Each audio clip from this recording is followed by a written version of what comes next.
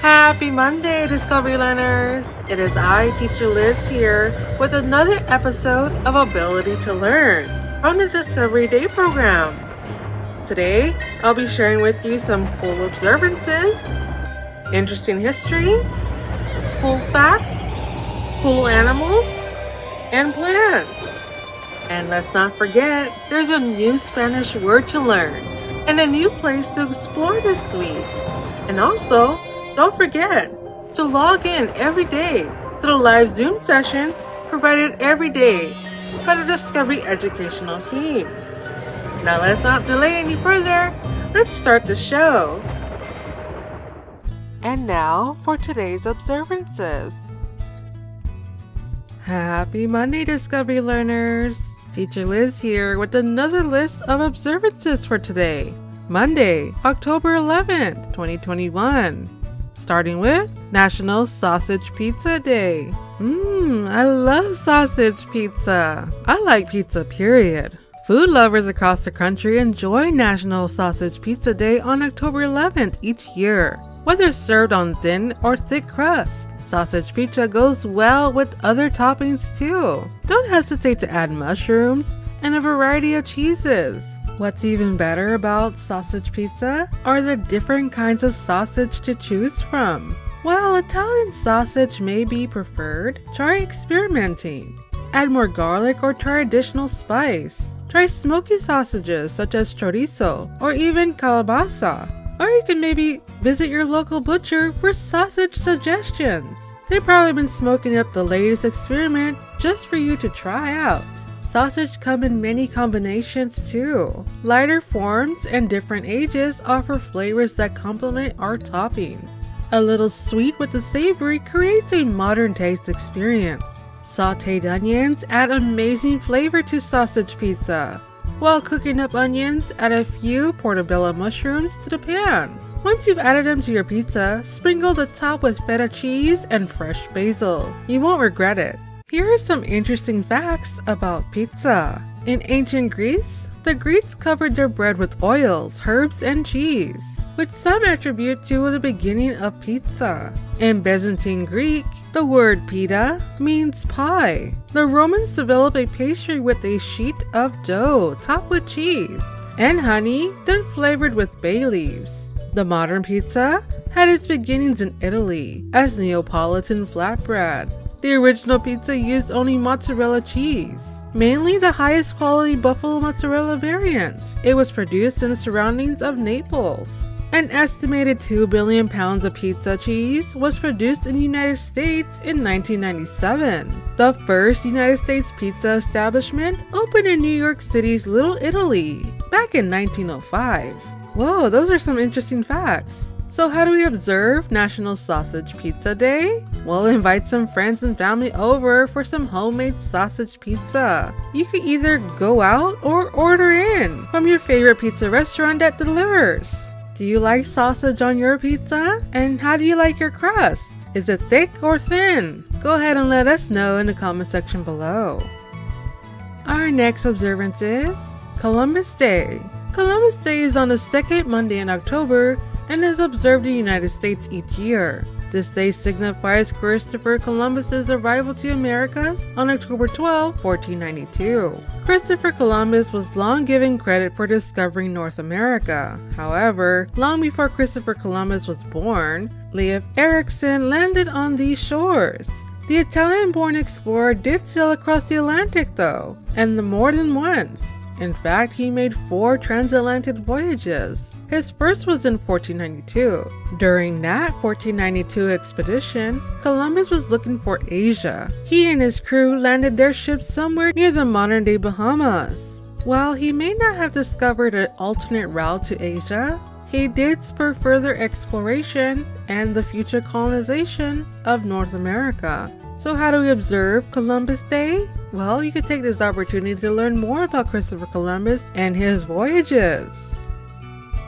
Our next observance is Native American Day, also known as Indigenous Peoples Day. Native American Day, or Indigenous Peoples Day, is observed annually on the second Monday in October. This day celebrates the cultures and contributions of many Native American tribes. While it's not celebrated in all 50 states, it is recognized in both California and South Dakota, and it's gaining rapid popularity in the rest of the nation. In other parts of the country, Indigenous People Day celebrations occur on this day. Events such as traditional dances, art displays, and ceremonies have begun to replace Columbus Day practices. The observance focuses on celebrating the culture, heritage, and history of tribes across the nation. Each diverse nation carries its own traditions, rituals, and beliefs. The day celebrates their knowledge, contributions, and enriching heritage. It is also a reminder of their enduring legacy of strength, energy, and fortitude. So, how do we observe Native American Day or Indigenous Peoples Day? Well, you can learn more about Native American cultures, attend events near you, or visit art museums, or read books about Native Americans by Native American authors. Learn about Native American history, explore the language and efforts to bring lost languages back.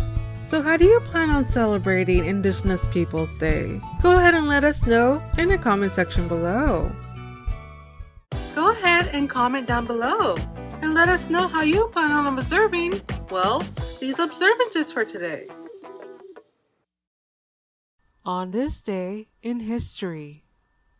Today, in 1975, Saturday Night Live, created by Lorne Michaels, premieres on NBC with George Carlin as host. Saturday Night Live, also known as SNL, is an American late night live television sketch comedy and variety show created by Lorne Michaels and developed by Dick Ebersol. Michaels currently serves as the program's showrunner. The show premiere was hosted by George Carlin on NBC on October 11, 1975, under the original title NBC's Saturday Night. The show's comedy sketches, which often parody contemporary culture and politics, are performed by a large and varying cast of repertory and newer cast members. Each episode is hosted by a celebrity guest, who usually delivers the opening monologue and performs in sketches with the cast, with featured performances by a musical guest. An episode normally begins with a cold open sketch that ends with someone breaking character and proclaiming, Live from New York, it's Saturday night, properly beginning the show. Throughout the four decades on air, Saturday Night Live has received a number of awards, including 86 Primetime Emmys, 4 Writers Guild America Awards, and 2 Peabody Awards. In the year 2000, it was inducted to the National Association of Broadcasters Hall of Fame. It ranks 10th in the TV Guide's 50 Greatest TV Shows of All Times list. And in the 2007, it was listed as one of Time's 100 Best TV Shows of all time. As of 2018, the show has received 252 Primetime Emmy nominations, the most received by any television program ever. Go ahead and leave a comment below and let us know what you think of today's historical events. Notable figures born on this day. Our first notable figure born today is Eleanor Roosevelt, born October 11th, 1884, in New York City, New York. This is the longest serving First Lady in U.S. history and feminist icon who is known for her humanitarian efforts. In her long career in politics, she fought for an expanded role of women in the workplace, the civil rights of African Americans, and the rights of World War II veterans and refugees. Before she was famous, she did volunteer work for New York Junior League and became fluent in French. She unfortunately passed away November 7th of 1962 at the age of 78. But an interesting piece of trivia to know about her is that her uncle was the former president Theodore Roosevelt. Wow! Happy birthday, Eleanor Roosevelt!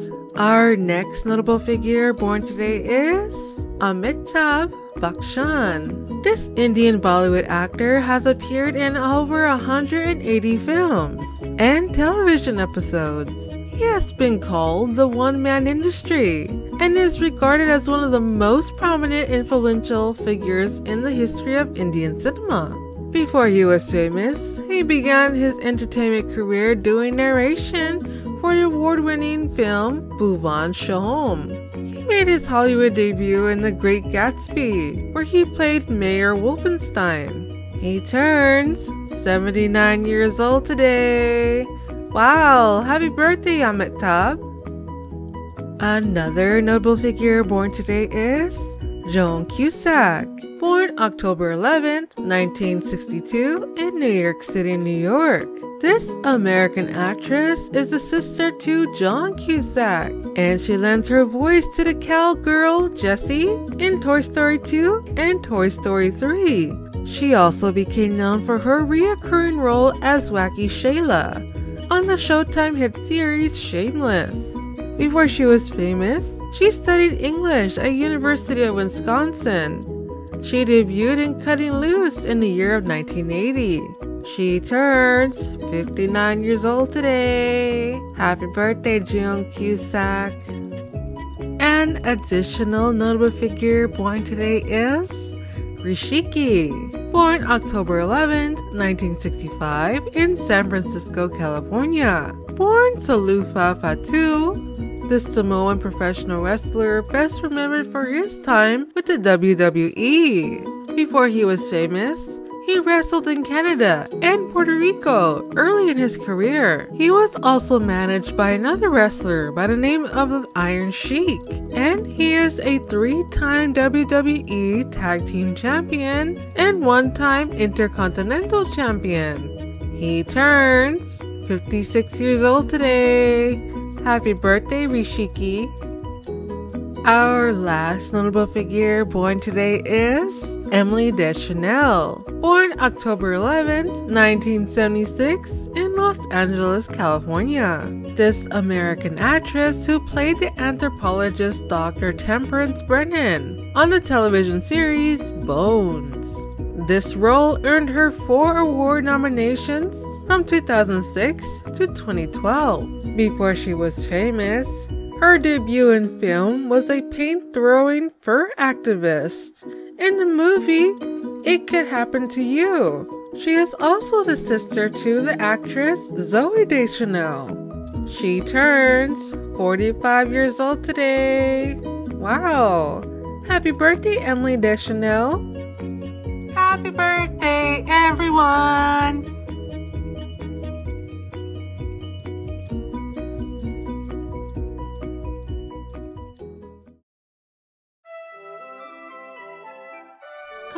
Discovery Learners, as we explore a new place of the week.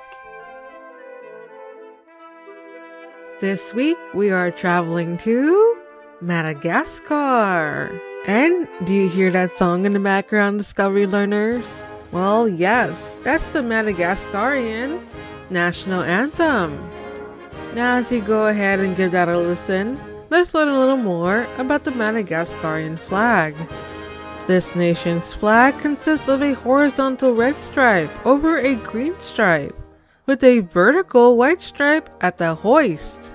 The white stripe is said to stand for purity, and the red for sovereignty. The green represents the coastal regions and symbolizes hope. The current iteration of the Madagascar flag has been in use since October 14, 1958. Whoa, pretty interesting flag you got there, Madagascar. So let's learn a little more about this nation. Madagascar is located in the southwestern Indian Ocean and is separated from the African coast by the 250 mile wide Mozambique Channel, with the Indian Ocean to the east. The official name for Madagascar is République de Madagascar, which means Republic of Madagascar. Its head of government is a prime minister. Its head of state is a president. And the form of government is a republic with two legislative houses the National Assembly and the Senate. The official language of Madagascar is Malagasy, with French at a close second. And the capital of Madagascar is Antananarivo. The most common or popular religion practiced in Madagascar is traditional beliefs, with Protestant at a close second. The official currency of Madagascar is the Malagasy Ariary. 3,958 Malagasy Ariaries equals 1 US dollar. Madagascar has a total area of 226,756 square miles.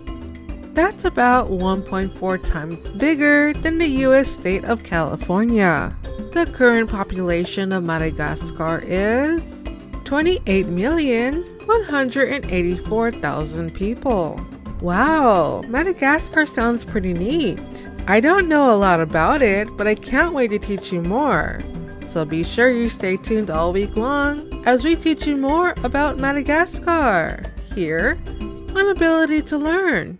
Wow, now that's a really interesting place of the week.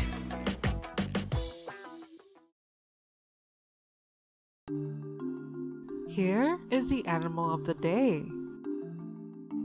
Today's animal is the sea turtle. Sea turtles are a group of reptiles that can be found in all oceans of the world except the polar areas. Out of seven known species of sea turtles, six are critically endangered. Main factors that decrease numbers of sea turtles are poaching, loss of nesting or feeding areas, accidental catch, ocean pollution, and weather changes, such as global warming. Here are some interesting facts about the sea turtle. Sea turtles are very old organisms. They live on the earth more than 200 million years. They managed to survive weather changes, which killed the dinosaurs. Their body is protected with upper shell called carapace. Unlike land turtles, sea turtles can hide their heads and legs inside their shell. That makes them more vulnerable when they come out in contact with predators. Sea turtles spend most of their life in the oceans. Females can be seen on the beaches only during nesting season. During nesting season, the female will return back to the same beach where she was born.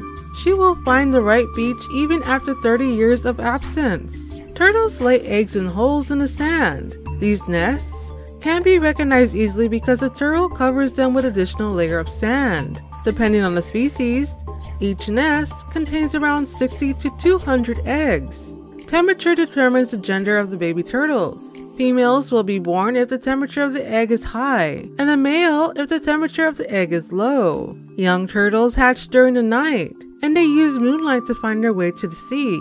Too many lights that are coming from the beach or from a nearby road can disorient and confuse the baby turtles. Sea turtles walk slowly on the ground because their flippers are adapted for swimming and not walking. They are excellent swimmers and they can travel large distances. Leatherback turtle can travel 12,000 miles from Indonesia to Oregon.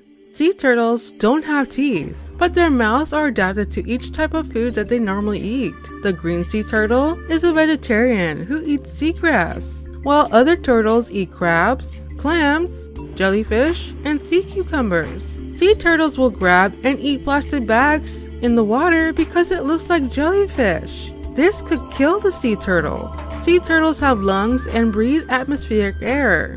They spend most of their time underwater, but they need to come up to the surface to breathe in some air. Size of sea turtles is specific for each species. Kemp's Ridley turtle weighs 80 to 100 pounds, while leatherback turtles weigh more than a thousand pounds. Whoa, that's a big turtle. Sea turtles can hear vibration. They have excellent eyesight and senses of smell. Sea turtles can live from 70 to 80 years. Wow, that's a long time. So, what do you think of today's animal? Is it cute? Is it creepy? Go ahead and let us know what you think in the comment section below. The plant of the day. Today's plant is the carnation. The carnation is a flowering plant. There are over 300 varieties of carnations that can be found throughout the world. These plants originate from Europe and Asia.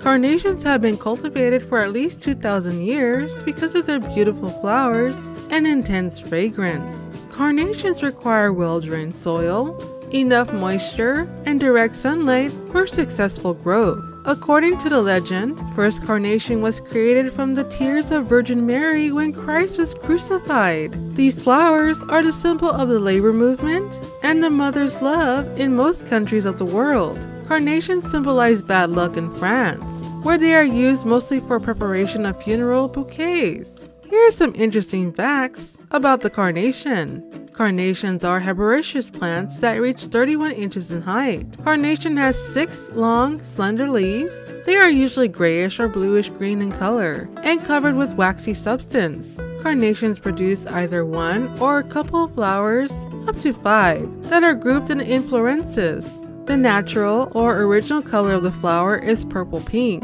Carnations in various shades of white, yellow, orange, red, and green are created by humans. Most varieties of carnations were produced via selective breeding. Blue mauve type of carnation was produced by genetic engineering. White carnations will change its color after adding food coloring to the water. Flower will change its color after 24 hours. Each color of carnation has specific meaning. White symbolizes purity, yellow disappointment, pink mother's love, red true love, white purple symbolizes capriciousness. The Latin word for carnation is dianthus, which means flower of the gods. Carnations were cultivated as a garden flower in ancient Rome and Greece. White carnations are an inevitable part of wedding bouquets and banquets prepared for the first wedding anniversary. Carnations are birth flowers for all people that are born in January. These flowers are often used in decoration for tuxedos. Bouquets made of pink carnations are traditionally prepared for Mother's Day. Besides banquets, flowers of carnations can be used as food. They can be consumed in the form of salads, or they can be used as decoration for cakes and other desserts. Carnations are used as flavoring agents in manufacture of beer, wine, and other alcoholic beverages. Colombia is the greatest producer of carnations in the world. Carnations are a national flower of countries such as Monaco, Spain, and Slovenia. They are also considered a symbol of different fraternities and sororities. Carnations can propagate via seed and plant cuttings. Carnations are perennial plants, which means they live more than two years. Carnations also have a long lifespans in the vase. They can remain fresh for up to 14 days after removal from the ground. It's that time again. We just learned about a new plant. So go ahead and tell us what you think in the comment section below. The word of the day. Today's word is apparition.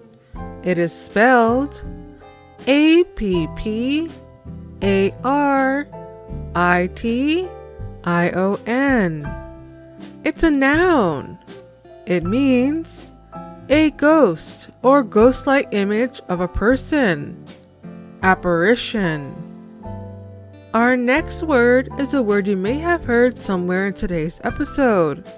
That word is tantalizing. It is spelled T A N T A L I S I N G. It's an adjective. It means tormenting or teasing with the sight or promise of something unattainable. Tantalizing. Hola Discovery Learners, soy yo, tu maestra Liz. Hi Discovery Learners, it is I, your teacher Liz. Aquí es su palabra en español de la semana. What that means is, here's your Spanish word of the week. Su palabra para esta semana es fantasma. Fantasma. Fantasma. Which means ghost. Fantasma. Ghost. Fantasma. Ghost. You can use this word in a phrase. Blanco como un fantasma. Blanco como un fantasma. Blanco como un fantasma. Which means white as a ghost. Blanco como un fantasma. White as a ghost. Blanco como un fantasma. White as a ghost. Go ahead and practice speaking Spanish all week long by saying Blanco como un fantasma, which means white as a ghost. ¿Cómo se dice ghost en español? Fantasma. Sí, muy bien. Hasta la semana que viene, Discovery Learners. Be sure to tune in next Monday to learn another Spanish word of the week here on Ability to Learn. Hey, Discovery Learners, it's me, Andrew Lancaster, again with some more spooky season movies to watch this week. And since we're learning about Madagascar, our first offering is Madagascar. This film has a rating of PG. It was made in 2005. It's a family comedy with a 1 hour and 26 minute runtime. It stars Chris Rock, Ben Stiller, Sacha Baron Cohen, and Jada Pinkett Smith. And if you look for it, you'll find it on YouTube. Our next spooktacular film is Little Shop of Horrors. This film has a rating of PG 13 and was made in 1986. It's a musical comedy with a 1 hour and 28 minute runtime. It stars Rick Moranis, Steve Martin, and Bill Murray, and is available on Hulu. Our next spooktacular offering is Paranorman. This animated film has a rating of PG. It was made in 2012 with a 1 hour and 33 minute runtime. It stars Anna Kendrick, Christopher Mintz-Plasse, Casey Affleck, and John Goodman. You can find it on Netflix.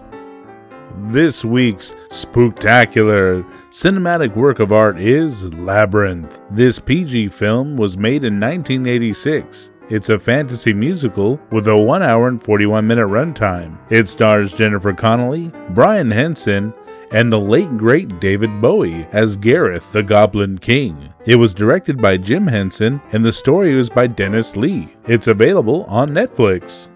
Labyrinth. This magical maze made by the amazing Jim Henson and his team is one of the spooky season's greatest family films. Full of twists and turns, hidden images, and amazing puppeteering, teamed up with a magical score that helps to add another layer to the labyrinth. All this was brought to life by stellar performances by Jennifer Connelly and David Bowie, whose musical prowess helped to make these amazing puppets and creatures created by the mind of Jim Henson become real characters and not just another set piece. As we watch Jen Connelly try to save her little brother from Jareth, the Goblin King, who she in a moment of anger gave away to him. Every single twist and turn in the labyrinth was painstakingly designed and created by Jim Henson and is distinct and different from the last. The intricacy of this is what makes this magical movie a cinematic work of art. Now playing at the Discovery Theater this Friday, starting at 1 p.m.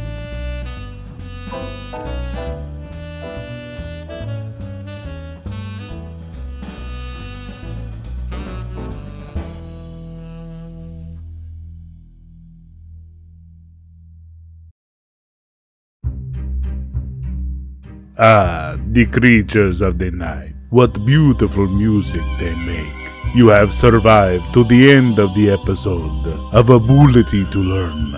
And I hope you didn't just learn something, but had fun as well. Don't forget to like, subscribe, and hit the bell icon so you are notified when a new video is posted. Because a video a day keeps the boogeyman away. This is Teacher Liz signing out. Farewell, Discovery Learners. I will see you next time.